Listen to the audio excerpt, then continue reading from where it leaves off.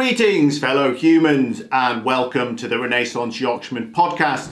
Today, I'd like to continue with my series about education, and specifically today, I want to talk about the zone of proximal development and the flow state, because these two things are fundamental to understanding what the philosophy of an education system should be and is in some cases around the world, but I would argue that as a general rule, these ideas are not at the heart of education systems as they absolutely should be.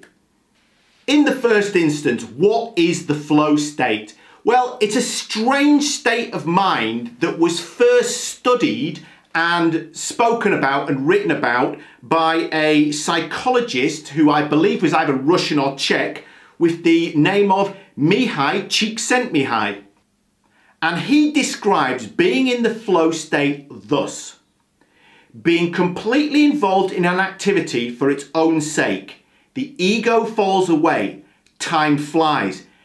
Every action, movement and thought follows inevitably from the previous one, like playing jazz. Your whole being is involved and you're using your skills to the utmost. I think it's very interesting that he mentions jazz because for jazz musicians, they have skills. They have skills at playing their instrument. There are also boundaries to how they can play and different time frames in how they can play.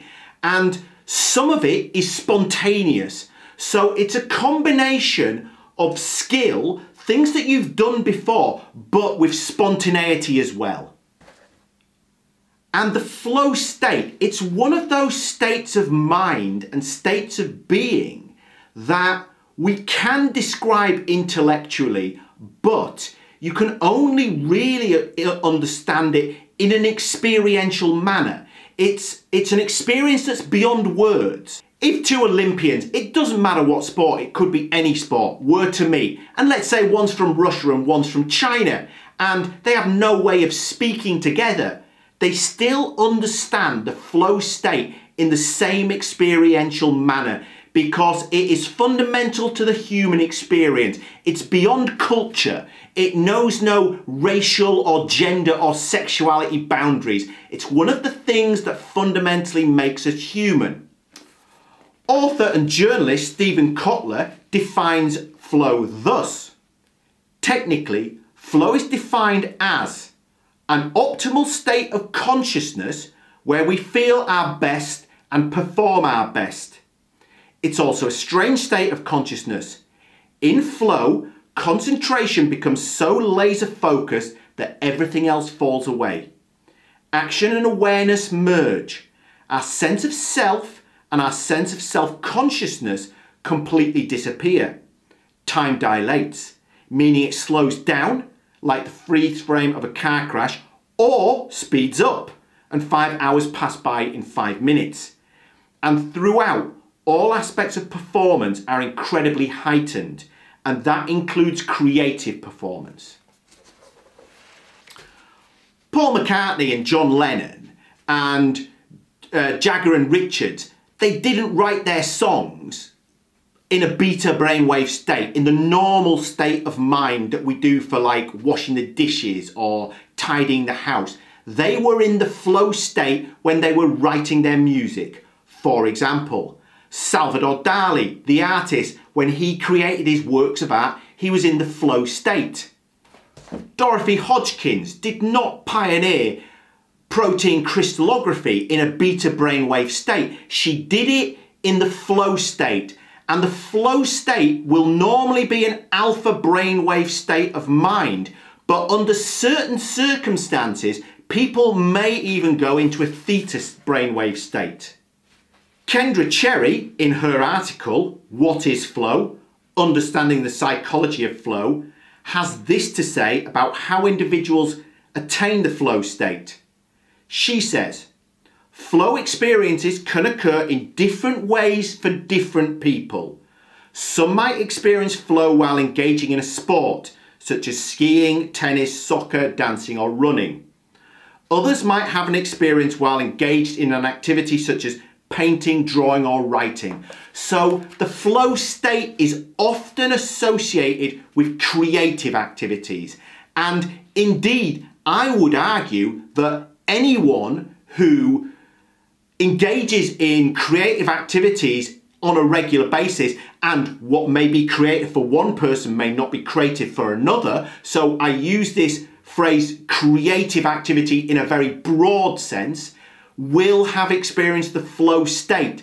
And many of us, hopefully most of us, and in post-capitalist societies of the future, it certainly will be most of us, will experience the flow state on a regular basis, on a weekly basis at least, or preferably on a daily basis. So this raises, this raises any number of correct questions, one of which is how does it feel to experience flow? Now, according to Mihaly Csikszentmihalyi, there are 10 possible factors that occur during the flow state, although it may not be the case that all 10 occur every time but at least some of them will always occur, and there may well be some circumstances where all 10 occur. So, number one, clear goals that while challenging are still attainable. Two, strong concentration and focused attention. Three, the activity is intrinsically rewarding. And in the next weeks, I'll make a video about intrinsic and extrinsic motivation because intrinsic and extrinsic motivation are fundamentally important for education systems. Four, feeling of serenity, a loss of feeling of self-consciousness. Five, timelessness, feeling so focused on the present that you lose track of time passing. Six, immediate feedback. Seven, knowing the task is doable, the balance between skill level and the challenge presented. 8. Feeling of personal control over the situation and the outcome. 9. A lack of awareness of physical needs. 10. Complete focus on the activity itself. I'd like to just mention a little bit of my experience of the flow state. I've experienced a flow state in a variety of activities, but it took me seven years to write my book there, The Tao of Sustainable Development, a new post-capitalist paradigm.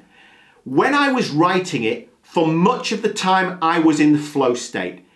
I found that when I was writing, I would do blocks of normally between about 30 minutes and about 50 minutes. So usually 40, 45 minutes or so. And I would start writing and I would get completely immersed in the writing and time would pass. And at a certain point, there would be a change in my brainwave state, not entirely dissimilar to the change in consciousness that occurs when you're waking up, you're asleep, and then you're awake. And they're two quite distinctly different states of consciousness. So in my own case, I would get to a point and I would suddenly feel really tired and I would look around and I would be aware of my room. And often I would suddenly need the toilet. Now, this hadn't occurred to me while I was doing the writing, or I might suddenly feel extremely hungry. So this idea that your, your, your body and your mind are in a distinctly different state is absolutely true in my experience. And I'm sure that most of the people watching this will have a pretty good idea of what I'm talking about. Why is this important to education? Well, quite simply, if you have an education system that is not aiming to inculcate the flow state for its students on a daily basis, then you have an education system which is fundamentally flawed. And here's where I'd like to talk about the zone of proximal development. In my view, the zone of proximal development is fundamentally related to the flow state and it's also related to what journalist and author Daniel Coyle calls deep practice and he talks about this in his book The Talent Code. I'm not going to investigate the talent code today, but I will make a future video about it because I think it's very important. The person who came up with this phrase, the zone of proximal development, was a Russian psychologist called Lev Vygotsky. And he describes the zone of proximal development thus. It is the difference between the actual development level as determined by independent problem solving and the level of potential development as determined through problem solving under adult guidance or in collaboration with more capable peers. So let's imagine a situation which arises in schools on a regular basis. Let's imagine we have a student, 12 years old, a girl, she's doing a maths problem. And the maths problem has many parts. Let's say there are 12 marks, so there are at least four different parts of this problem.